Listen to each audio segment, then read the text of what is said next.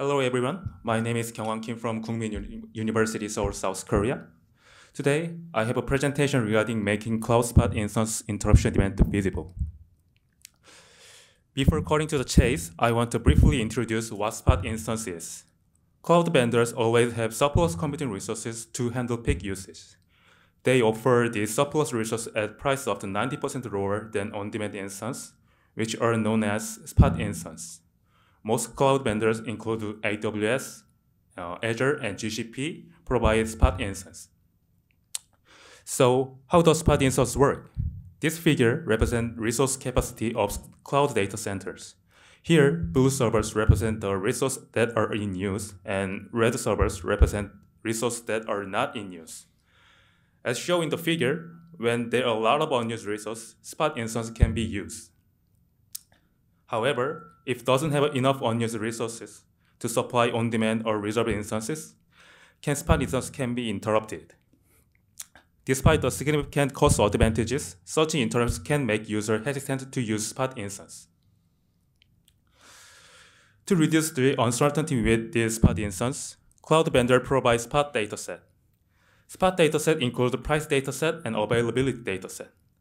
Price dataset consists of an on-demand price, spot price, and savings. Savings indicate how much cheaper the spot price is compared to on-demand price. AWS, Azure, and GCP provide spot dataset. And there are two data in availability dataset, uh, and spot placement score and interrupt frequency rate. Interrupt frequency rate is indicator of how often spot interrupts were terminated in the past month, categorized into five range from less than 5 to more than 20. In this paper, interrupt frequency rate mapped to a score increased by 0.5 from 1 to 3. Competitive, mm, value as uh, interrupt free score, IFS for short. Uh, a higher score indicate high availability and interrupt frequency rate provided by AWS and Azure. And then spot placement score for short SPS represent the immediate availability of spot instance. And just like the interrupt frequency free score, the higher score indicate high availability and only AWS provides spot placement score.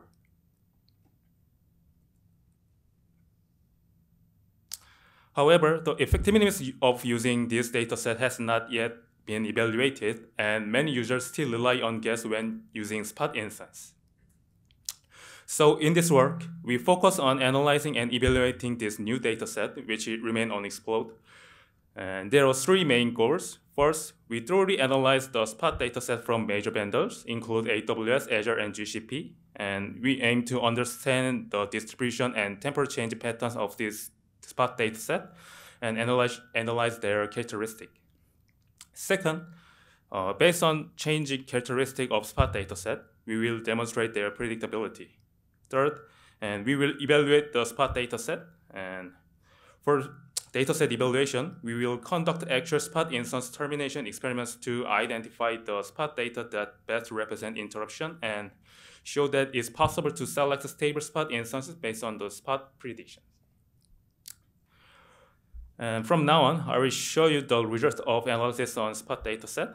The first analysis uh, focus on the distribution of Spot dataset, and these CDF figures show distribution average of each Spot instance da Spot dataset and over a period of 10 months starting from November 2022. And the prominent part of the figure, the Azure exhibit higher distribution in savings and interrupt free score compared to the another vendors. And then we check the temporal change pattern of Spot dataset. Uh, this figure, the horizontal axis shows the elapsed days since July 19, 2023, and the vertical axis represents the average of uh, each Spot dataset. The figure shows that the savings do not show temporary characteristic, and interrupt free score shows changes over time, but no specific patterns. The prominent part of the figures is that only SPS data shows the regular change patterns, so we analyze the SPS temporal patterns in more detail. This figure shows the hourly and weekly change pattern of SPS, and SPS is lower during working hours and weekdays, and higher in off hour and weekend. This shows SPS immediately reflect the availability of spot instance and regular change pattern shows the possibility of spot SPS value predictions. So far, I explained about the analysis of spot dataset. In this part, I will show you about how to predict SPS value. The SPS value predict model used the prior three days SPS as an input feature and predicted the future SPS value. Figure shows an example of one day SPS prediction. So in this way, we predicted SPS value for about 23,000 instances. And this table represents the F1 score of, for various prediction model over different feature prediction window size. The results of prediction are accurate even with a simple model because uh, SPS of the most instance uh, exhibit regular or minimal change pattern in 72 hours within 72 hours. And among the various models tested, the XGBoost model outperform others regardless of the prediction window size. Although the difference is marginal, so we'll, we'll continue to use XGBoost model for future SPS predictions. Now we need to conduct an evaluation to understand which dataset is indicate interruption and whether SPS prediction can reduce interruptions. Therefore, we launch uh, spot instance and then observe status of spot instance for 24 hours. And before launching spot instance, we have to sample target spot instances. And in this work, we sampled 875 target instances. And considering equal spot data score distribution as possible, and thus, after the sampling, we launch and check every sampled target spot instances for 24 hours. And health checking is executed every five seconds. And the, the status of spot uh, target spot instance looks like the figure, and the fulfill and stop status are alternately repeated. And even health checking logs are categorized fulfilled and not fulfilled. So we will analyze the how we will analyze how well spot data reflect the actual status of spot instance with uh, real-world expensive real-world experiments log data. We use Kaplan-Meier estimator to check survival rates that depend on the cloud vendor and score of spot data.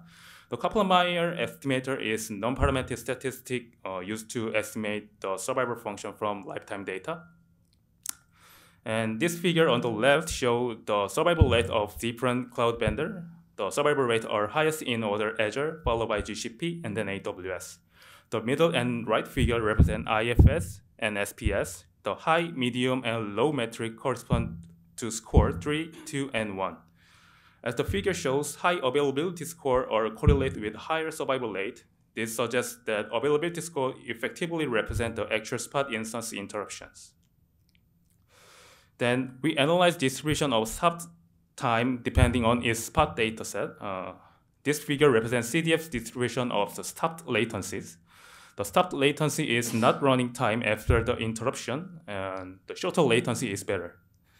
As the figure shows, the savings is not reflect the interruption in all vendor, and IFS of AWS indicate interruption, and Azure, mm, Azure does not. But IFS of AWS does not indicate interruption at over 10,000 seconds. However, SPS indicate interruption regardless of time. So SPS is best indicator of interruptions. Uh, we have to discover that uh, SPS data is best indicator of interruption events and availability of spot instance. To go one step further, we check whether predicting future SPS value can help increase probability of predicting interruption of spot instance. And we compare distribution of spot instance running time with different predicted SPS value. In this CDF figure, the vertical axis shows the distribution and the horizontal axis represent the spot instance running time.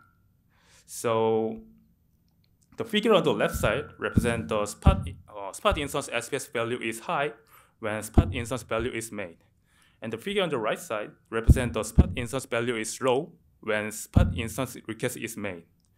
Um, when the SPS value is high, selecting an instance predicted value is consistently high, can increase the expected runtime of the spot instance by 63.2%.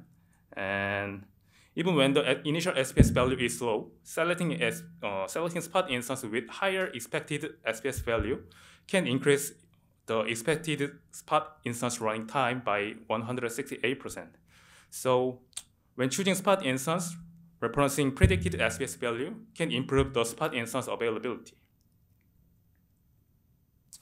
In summary, we analyze spot data set provided by major cloud vendor and demonstrate their efficiency through experiments.